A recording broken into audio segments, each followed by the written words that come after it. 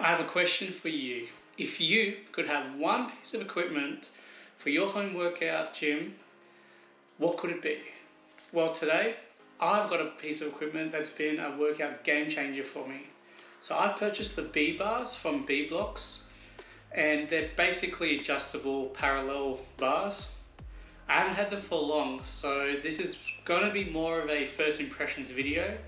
And I can say so far, definitely loving it and I recommend it. So that sums up the video. No, it doesn't. Definitely not.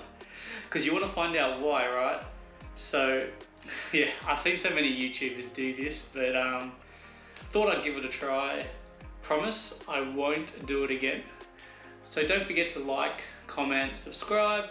Please turn those notifications on so when the next video comes out, you'll be notified. So what I'm looking at today is putting it together and there's a few tips that I'm going to share with you while putting it together. The benefits of the height adjustable bars and different exercises that I'm able to do. And then I'm going to look at some things just for you to look out for based on my experience. And then I'm going to sum it up of my first impressions of the B bars. So after receiving the B bars package, which I might add was smooth, I had no hiccups in the delivery process, it actually came before schedule, which I was shocked. When does that actually happen? So props to that um, delivery company. So I didn't film any footage of me unboxing it because it would look like a five-year-old doing it. I'm literally that bad. You should see me uh, wrapping gifts, but that's a whole different story. So you'll get two parallel bars, four T-bars, they're the legs, and then you'll get two brackets, um, and then you also get 16 grenade pins, which lock everything together. Here's a little tip with the grenade pins. It took me a little bit to realize this, but there are actually two different size pins with the grenade pins. So the smaller ones go in the bars themselves, where the bigger ones will go in the base to connect the two bars together. There's actually not that big of a difference. So they look exactly the same as well. So if you've made the same mistake, don't worry, I've got you back there. Another tip that I found is to definitely put the bar on the ground and attach the legs facing up. It does say it in the instructions and it makes it a lot easier to line up the holes in the legs and play around with it just to get those pins in. When I was first doing it, I found it a little difficult to line up the holes properly with the, like with the pins. But as you do it more and more, it becomes a lot easier. Don't get me wrong, it's not hard. Like even I can do it. I just got quicker at doing it. So definitely don't do it like this. It does make it a lot harder. So once you've done it, it will look something like this.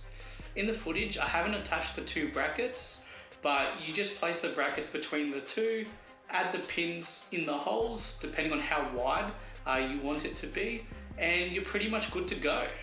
So the B bars come in two different heights that are adjustable. To be honest, this was a big selling point to me because I wanted to be able to do pull-ups at home, but I didn't have anything to do pull-ups on. So the first height is quoted at 84 centimeters. In terms of my use case, I mostly use this height for rowing exercises where I need to keep my feet on the ground. I can still do pulling exercises, but it gets a little bit squishy. I do like this height for leg raises. Now with the other parallel bars, that's it. I'm stuck with this height, but with the B bars, let's adjust it to 127 centimeters. So now it's quite a bit higher, and this is the mode I use for when I gotta do pull-ups. Hanging leg raises and anything I need the bars just to be higher. I can actually do dips and leg raises, but I actually have to jump for this one because let's face it, I'm pretty short. Okay, now here is a hot tip that I've discovered through playing around with the B-bars. Let's imagine you want to do a superset of pull-ups and inverted bodyweight rows. So would you do one exercise and then quickly adjust the bars and then do the next one? It's just not practical, how can you do that? So what you can do is have one high bar and the other one low. So you can do your pull-ups on the high bar and then get straight into your body weight rows on the lower bar. Sometimes I do this if I know I don't need to have the bars at parallel or the same height.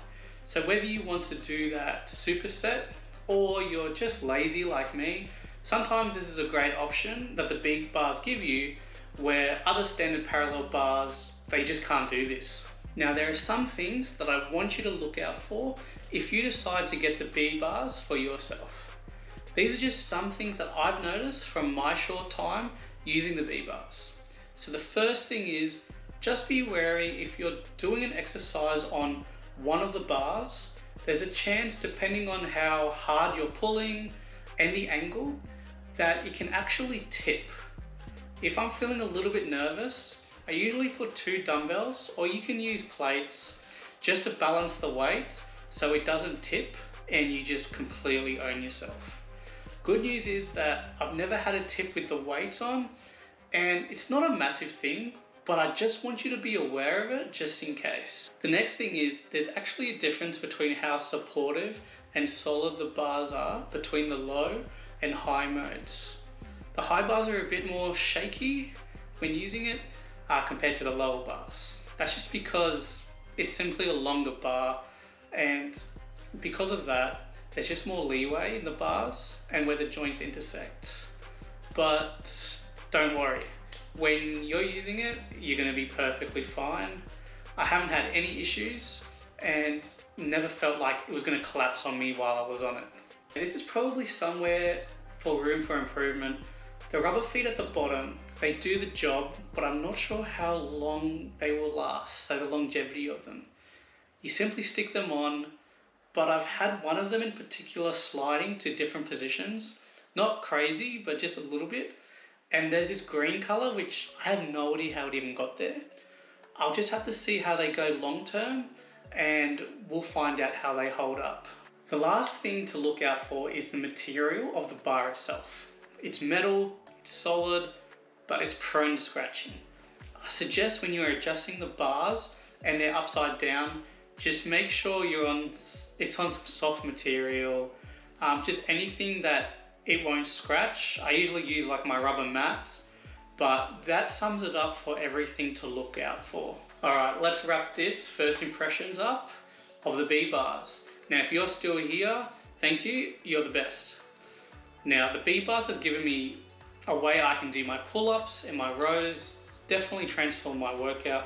I think the biggest selling point is that you don't need a pull-up bar to hang on your door frame. Uh, you don't need any other kind of equipment. It's just already there. You can disassemble it for storage. And the big thing is it's adjustable. If it wasn't adjustable, you're stuck with only one height, it can really uh, restrict your workouts. But because of the adjustable height, I can do pull-ups, rows, all sorts of exercises. So from my view, from my first impressions, I'm definitely enjoying it. I can definitely recommend it. And I look forward to making another video in the future about how long it lasts. So will it break down on me and will it actually break? Now, don't forget to like, comment, subscribe. Uh, please turn your notifications on and I hopefully can see you in the next video.